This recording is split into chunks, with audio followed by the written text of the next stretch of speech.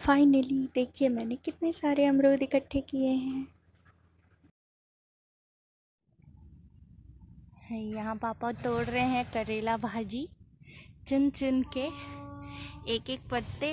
हमारे यहाँ पे बहुत सारे करेले हुए हैं और इस करेले की सब्ज़ी भी हम खा चुके हैं दो चार बार और अभी पापा इसके पत्ते तोड़ रहे हैं। इसकी भी सब्ज़ी बनाई जाती है।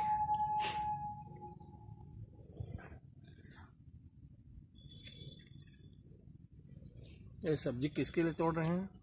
तेरे मामा के और मम्मी कल रायपुर जाने वाली है क्योंकि नानी की तबीयत थोड़ी ख़राब है। तो मामा जी के लिए भाजी तोड़ी जा रही है यहाँ पे, क्योंकि उनको ये भाजी बहुत पसंद है तो उन्होंने बोला था कि मम्मी को कि जब आएगी तो लेकर आना।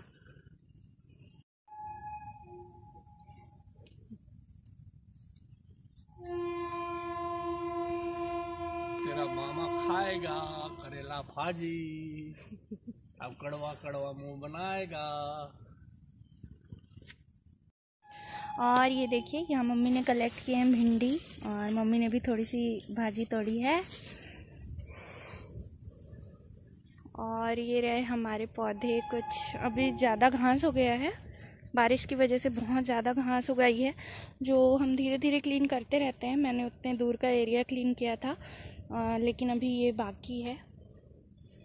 और ये देखिए, भिंडी। इसमें भी ढेर सारे फूल आ रहे हैं और फल तो हम डेली ही भिंडी की सब्ज़ी जो है तोड़ रहे हैं।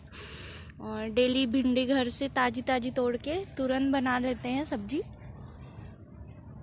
तो घर पे अभी ढेर सारी सब्ज़ियाँ हो रही हैं।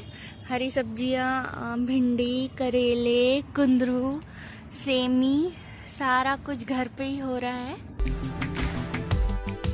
हमारे यहाँ पे शाम से ही बहुत तेज़ बारिश हो रही थी तो मैंने सोचा कि उन्हें नूडल्स खाए जाए, क्योंकि मौसम इतना अच्छा हो रहा था और ठंडे ठंडे मौसम में गर्मा गर्म नूडल्स खाने का मज़ा ही कुछ और होता है।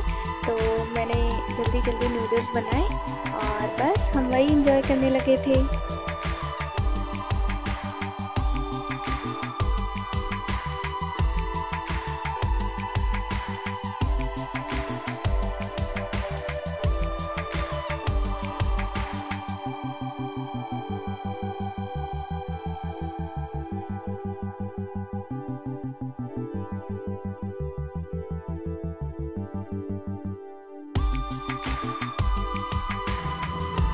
आपको मेरा आज का ये ब्लॉग कैसा लगा, ज़रूर कमेंट करके बताइएगा। तो चलिए मिलते हैं मेरे नेक्स्ट ब्लॉग में, तब तक के लिए bye bye thank you for watching